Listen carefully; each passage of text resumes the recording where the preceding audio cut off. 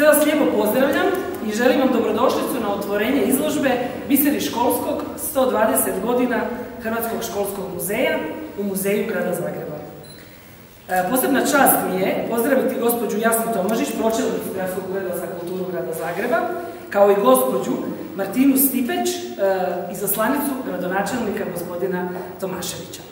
Sada ljubazno molim gospođu Marinu Perica Krapljanov, ravnateljicu Muzeja grada Zagreba, da nam se obrati. E, ja vam svima skupa želim dobrodošlicu i još jednom pozdrav svim uzmanicima na ovu lijepu, prigodnu izložbu 120 godina Hrvatskog školskog muzeja.